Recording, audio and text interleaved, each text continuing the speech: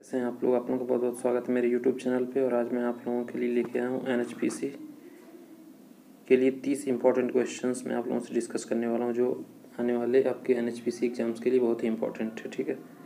Number one से शुरू करते हैं। क्वेश्चन नंबर वन क्या कहता है?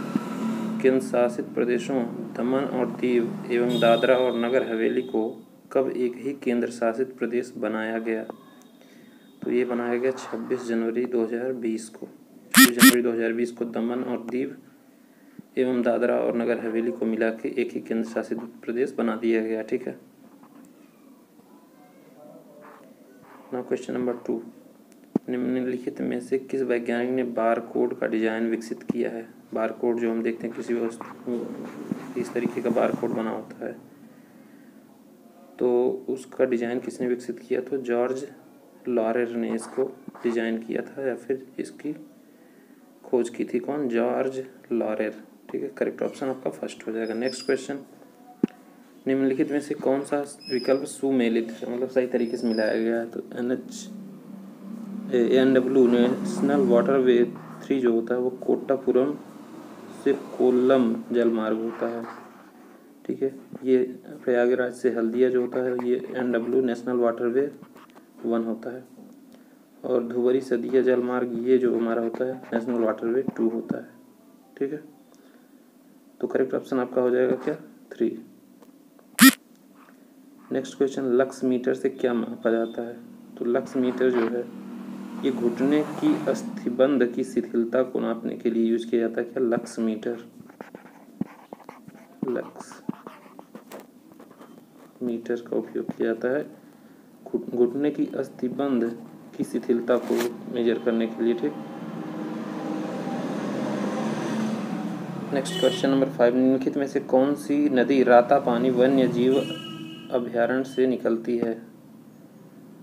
तो राता पानी वन्य जीव अभ्यारण्य से बेतवा नदी निकलती है, ठीक है? करेक्ट ऑप्शन आपका हो जाएगा सेकंड और एक चीज़ और याद रखना, माता टीला परियोजना।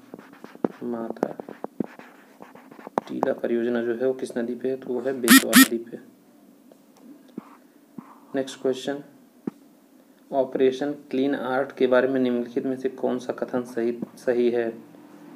तो ऑपरेशन क्लीन आर्ट ये जो है किससे रिलेटेड नेवले के बालों की तस्करी पर कड़ी कार्रवाई करने के लिए एक भारतीय अभियान है, ठीक है? नेवला जो होता है, उसके बालों की तस्करी होती थी। जिसको रोकने के लिए क्या कौन सा ऑपरेशन चलाया गया? तो चला गया क्लीन आर्ट करेक्ट ऑप्शन आपका हो जाएगा ऑप्शन थर्ड ठीक? Next question seven dial up networking क्या है? तो डायल अप नेटवर्किंग एक तरीके की संपर्क विधि है। जब आप भी कॉल करते होंगे तो डायल अप कभी किसी किसी मोबाइल में लिखता है डायल अप ठीक है? तो ये संपर्क करने की एक विधि है, संपर्क विधि। नेक्स्ट क्वेश्चन प्रसिद्ध पुस्तक the great smog of India के लेखक कौन है? तो यह है सिद्धार्थ सिंह ने लिखा है, the great smog of India. Next question which of the following is not correct about the element sodium sodium के बारे में इसमें से कौन सा सही नहीं है? तो यहाँ पे देखिए it is a silver white metal सही है। It is good conductor of electricity sodium good conductor of electricity होता है एन जो हो जाता है। ठीक है? It is highly reactive reacting explosively with water water के साथ हाईली रिएक्टिव होता है, ठीक है? जो आपका करेक्ट ऑप्शन हो जाएगा, वो फ़र्स्ट क्या कह रहा है? The density of sodium is slightly more than water ये पूरा गलत बात है, ठीक है? तो इसलिए इसी पे इसने पूछा, क्या करेक्ट नहीं है? तो यही जो है करेक्ट नहीं है, ठीक करेक्ट ऑप्शन आपका फ़र्स्ट हो जाएगा।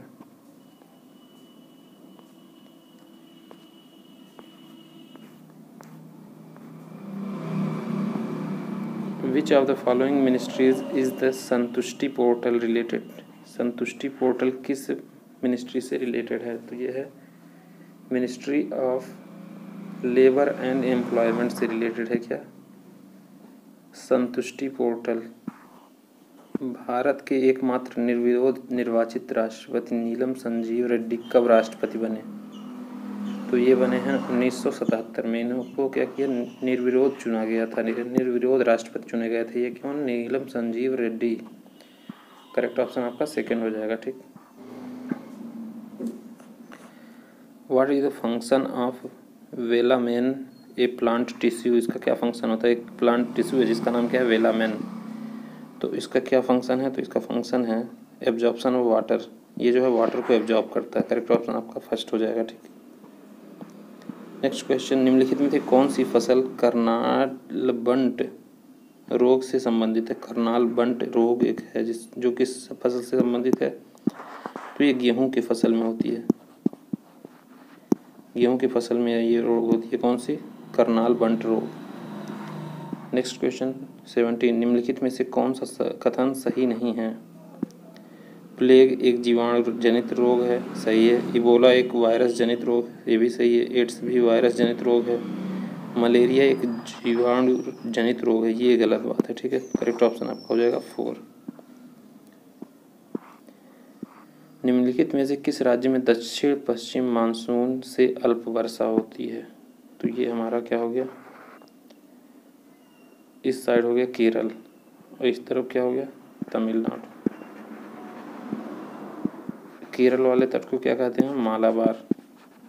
मालाबार तट कहते हैं। और तमिलनाडु की तरफ़ जो तट होता है, उसको क्या कहते हैं? कोरोमंडल।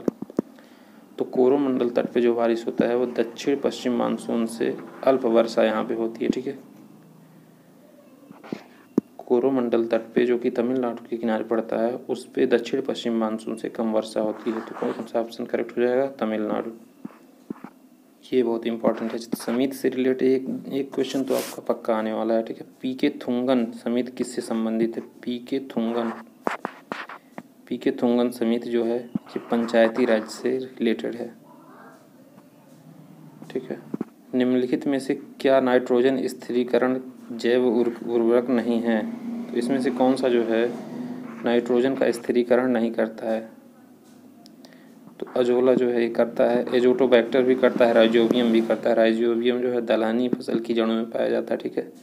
स्यूडोमोनास, ये जो है, ये नाइट्रोजन का स्थिरीकरण नहीं करता, नाइट्रोजन स्थिरीकरण नहीं करता कौन? स्यूडोमोनास। Next question.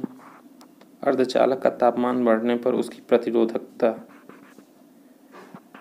अगर कोई अर्धचालक है, उसका तापमान बढ़ाते हैं तो उसकी प्रतिरोधकता मतलब क्या होता है? रेजिस्टेंस रेजिस्टेंस क्या होगा? डिक्रीज करेगा। ठीक? करेक्ट ऑप्शन आपका हो जाएगा फ़र्स्ट ये बहुत इंपॉर्टेंट क्वेश्चन है क्वेश्चन नंबर ट्वेंटी फोर दूध से निकल, दूध में निम्नलिखित में से कौन सा प्रोटीन पाया जाता है? दूध में कौन सा प्रोटीन पाया जाता है? तो ये पाया जाता है कैसेन ठीक, कैसिन प्रोटीन किसमें पाया जाता है? दूध में। क्वेश्चन नंबर ट्वेंटी फाइव, निम्नलिखित में से कौन सा विकल्प सुमेलित नहीं है? इसमें से कौन सा सही से मिलाया नहीं गया तो ठीक है। हिमायत सागर झील, हिमायत सागर झील तेलंगाना में है और एक है हुसैन सागर हुसैन सागर झील, ये आंध्र प्रदेश में है।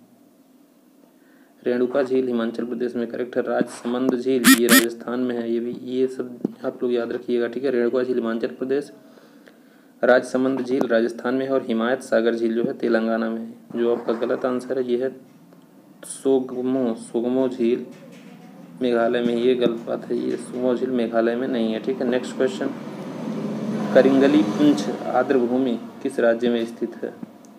करिंगली पुंछ जो आर्द्र भूमि आर्द्र भूमि मतलब वेटलैंड अभी भारत में कितने वेटलैंड हैं? टोटल वेटलैंड है फोर्टी नाइन जो फोर्टी एट्थ बना है, वो क्या है? खजादिया। खजादिया जो है, गुजरात में है। वो अड़तालीसवें नंबर का वेटलैंड है और उनचासवें नंबर का जो वेटलैंड है, वो है बखीरा जो कि उत्तर प्रदेश में है, ठीक है? तो करिंगली पुंछ वेटलैंड जो है, वो केरल में है। और आपको मैं बता दूँ वेटलैंड डे कब मनाया जाता है? दो फरवरी को वेटलैंड डे मनाया जाता है। ये भी बहुत इंपॉर्टेंट क्वेश्चन है, पूछा जा सकता है, क्योंकि अभी अभी फरवरी मंथ में मनाया गया है। जीव विज्ञान का एक उपखंड जेरेंटोलॉजी डैश के विज्ञान, वैज्ञानिक अध्ययन से संबंधित है। तो जेरेंटोलॉजी वृद्धों, वृद्ध लोगों के अध्ययन के लिए कौन सा विज्ञान जो है संबंधित है? तो जेरेंटोलॉजी जो है संबंधित है वृद्धों के अध्ययन के लिए, जो बूढ़े होते हैं उनके अध्ययन के लिए। निम्नलिखित में से कौन सा कथन पाश्चुरीकरण पॉस्चुराइजेशन के बारे में सही नहीं है? तो पहला क्या है, यह निर्जलीकरण की प्रक्रिया है तो ये बिल्कुल गलत है, यह निर्जलीकरण की प्रक्रिया नहीं है, ठीक है? यह तरल खाद्य पदार्थों के संरक्षण की एक विधि है, ठीक है? लिक्विड जैसे मिल्क वगैरह हो गए तो इसके संरक्षण के लिए हम क्या करते हैं? पॉस्चुराइजेशन करते हैं। इस विधि को खोज लुई पास्चर ने किया था। और इसी के नाम पे जो है पॉस्चराइजेशन, उसका नाम रख दिया गया। यह प्रक्रिया दूध अन्य तरल पदार्थ में मौजूद जीवाणु को नष्ट कर देता है। दूध वगैरह की में जो बैक्टीरिया होते हैं, उनको वो नष्ट कर देता है, जिससे वो क्या होते हैं कि खराब नहीं होते हैं, ठीक है? क्वेश्चन नंबर थर्टी फ्रिज में से होकर गुजरने पर प्रकाश के किस रंग का प्रकीर्णन सबसे ज़्यादा होता है? तो सबसे ज़्यादा प्रकीर्णन जो होता है, वो हमारा बैगनी रंग का होता है, ठीक है? ये फ्रिज से अगर पास कर रहा है, यहाँ पे आएगा तो इस तरीके से होता है, ठीक है? तो इधर से हम लिखते जाएँगे तो ये होता है V I B G O Y R सबसे कम डिफ्लेक्शन किसका होता है? आर का होता है। सबसे ज़्यादा किसका होता है? वायलेट मतलब बैगनी का रंग का होता है, ठीक? करेक्ट ऑप्शन आपका हो जाएगा ए ये देखिए, बहुत इंपॉर्टेंट क्वेश्चन है, ठीक है? निम्नलिखित घटनाओं को कालानुक्रमिक, क्रम में व्यवस्थित करें और नीचे दिए गए विकल्पों में से सही विकल्प का चयन करें। चंपारण सत्याग्रह कब हुआ था? उन्नीस सौ सत्रह में। ठीक है। तो सबसे पहले क्या हुआ था? चंपारण सत्याग्रह। उसके बाद ये जो हुआ था उन्नीस सौ पच्चीस में तो ये हो गया चार दो। फिर होता चंद्रशेखर आज़ाद की मृत्यु। फिर लास्ट में जो होता है वो गया मोहन सिंह द्वारा भारतीय राष्ट्रीय सेना का गठन तो करेक्ट ऑप्शन आपका हो जाएगा सेकंड ये जो है सिंधु घाटी सभ्यता से संबंधित क्वेश्चन है तो सिंधु सभ्यता का पूरा तात्विक स्थल दैमाबाद किस नदी के तट पर स्थित है? दैमाबाद किस नदी के तट पर स्थित है? तो ये है प्रवरा नदी. प्रवरा नदी के किनारे है, स्थित है तो करेक्ट ऑप्शन आपका हो जाएगा थ्री अभ्रक, जिसको हम क्या कहते हैं? मीका के बारे में से कौन सा कथन सही नहीं है? यह पारभासी होता है, ये सही बात है, यह एक बढ़िया अग्निरोधक होता है, सही बात है अत्यंत कठोर कठोर होता है, अत्यधिक कठोर होता है, ये भी सही है। इसमें विद्युत प्रतिरोध शून्य या फिर न्यून होता है, ये गलत बात है, विद्युत प्रतिरोध इसमें होता है, ये पूरा करंट फ्लो इसमें नहीं होता है, ठीक है। Next question question number thirty seven प्रसिद्ध भारतीय खिलाड़ी खुमुख चम संजीता चानू, किस खेल से संबंधित हैं? तो ये संबंधित है भारोत्तोलन से, ठीक है। मीरा भाई चानू भी भारोत्तोलन से ही संबंधित हैं और उन्होंने जो है अभी रजत मेडल जीता है।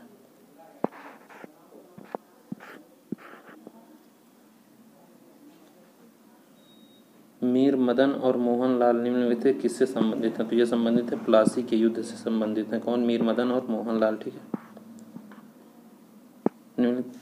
क्वेश्चन नंबर थर्टी नाइन निम्नलिखित में से कौन सी तेल रिफाइनरी असम में नहीं है? तो ये जो बरौनी है, ये असम में नहीं है, ये बरौनी बिहार में है, ठीक है? डिगबोई नुमालीगढ़ और नोनमती, ये तीनों जो है असम में हैं। क्वेश्चन नंबर फोर्टी ग्रेफीन के बारे में निम्नलिखित में से कौन सा कथन सही है? सही कौन सा कथन है, ठीक है? तो यह कार्बन आधारित नैनो स्ट्रक्चर है, सही बात है ये, ठीक है? ग्रेफीन जो है एक नैनो स्ट्रक्चर है, मान लीजिए। बुक आपकी पूरी एक जो है ग्राफाइट की सीट है, ठीक है? तो उसमें से एक पेज अगर निकाल लेते हैं तो वो जो है आपका ग्रेफिन हो जाता है। बहुत पतला, एकदम नैनो साइज़ का ये होता है, ठीक है? नैनो साइज़ का होता है, इसीलिए इसको नैनो स्ट्रक्चर कहते हैं। सीट्रिक एसिड चक्र को डैश के रूप में जाना जाता है।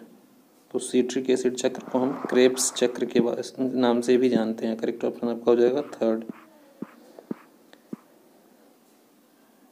question number forty three, निम्नलिखित में से कौन सा एंजाइम मानव के आंसुओं में पाया जाता है, जिसके कारण जीवाणु नष्ट हो जाते हैं? तो ये है लाइसोजाइम ये जो है, मनुष्य के आंसुओं में पाया जाता है और ये जो है जीवाणुओं को नष्ट कर देता है। तो करेक्ट ऑप्शन आपका हो जाएगा four question number forty five, निम्न, निम्नलिखित में से कौन सा अनुच्छेद सांसदों के विशेष अधिकार से संबंधित है? तो अनुच्छेद 105 जो है ये सांसदों के विशेषाधिकार से संबंधित है, ठीक है? ऑप्शन नंबर वन करेक्ट हो जाएगा। ये जो कंप्यूटर से रिलेटेड क्वेश्चन निम्नलिखित में से कौन सा एक ब्राउज़र नहीं है? इसमें से कौन एक ब्राउज़र नहीं है? तो क्रोम एक ब्राउज़र है, ठीक है?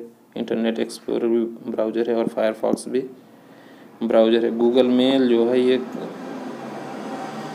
मैसेज वगैरह भेजने के लिए होता है मेल करने के लिए होता है, ये जो है ब्राउज़र नहीं होता है, ठीक?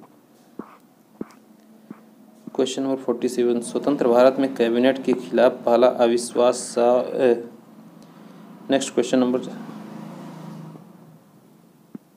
question number forty seven स्वतंत्र भारत में कैबिनेट के खिलाफ पहला अविश्वास प्रस्ताव कब लाया गया? तो ये लाया गया था चार अगस्त सॉरी अगस्त उन्नीस सौ तिरसठ में। करेक्ट ऑप्शन आपका हो जाएगा फोर और ये लाया गया था अगस्त उन्नीस सौ तिरसठ में अविश्वास प्रस्ताव।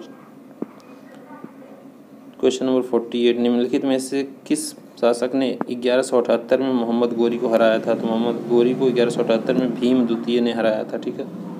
करेक्ट ऑप्शन हो जाएगा आपका two question number forty nine यौगिक जिंक ऑक्साइड को क्या कहा जाता है? तो जिंक ऑक्साइड को हम क्या कहते हैं? फिलोसफर्स वूल कहते हैं, ठीक है?